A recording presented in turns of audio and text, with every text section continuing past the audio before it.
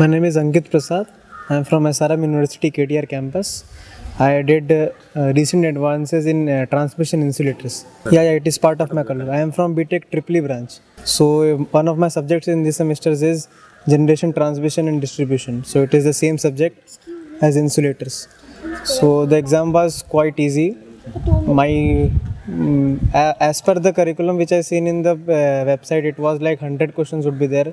But for my uh, topic, it was only 50 questions, out of which uh, nearly 13 to 15 questions were from assignments and all the questions were uh, from the video lectures. If anybody has seen the video lectures they would be very easy to answer all the questions. But i would suggest that uh, they should provide some numerical problems also at least 10 to 10 numerical problems. Because if it would be if fully theory based then students can finish in only half an hour. Because only uh, tick can go. If it is 10 numericals then at least we have something to solve. And according to my feedback is that the portal uh, mobile website is not working till uh, it is lagging behind. So they need to work on mobile website also.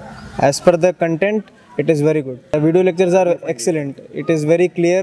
Clear explanation is there. And uh, assignments are very very much nice. All the videos are approximately 40 minutes video.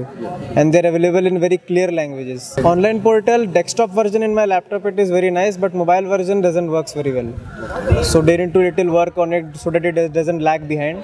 And overall the feedback is very good. First of all i'm impressed with the content of teaching which they provide as per my uh, sir was there, uh, it was very nice teaching.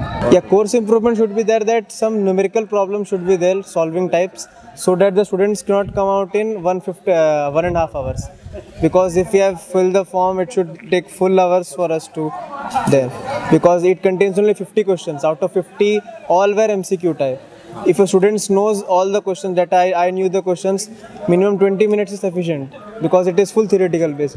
If it has at least 10 numericals, there would be a use use of calculator also. If they provide calculator, we should have the use of it. But in my questions, I didn't need calculator because all the 50 were theoretical. And in my side questions, uh, at starting, I seen their content. It was software testing. They had 100 questions. They maybe have numerical. I don't know. Yeah, it was uh, differ with the co- Yeah, it may be differ with the questions because I asked them they had 100 questions, I had only 50 questions. So I would suggest that at least 10 numerical should be there so that we can solve, we can jot down something in the papers.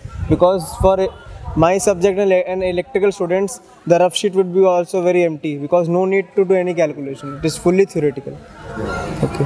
And I am impressed with the content of teaching. It is very nice. Yeah, yeah, helpful. It is my semester's course. Generation, transmission, distribution. Yeah, yeah. Online also one live uh, interaction was there. forum is available. And uh, the best part is that the quality of teaching that uh, the sir is teaching, the sir doesn't lag behind in his language.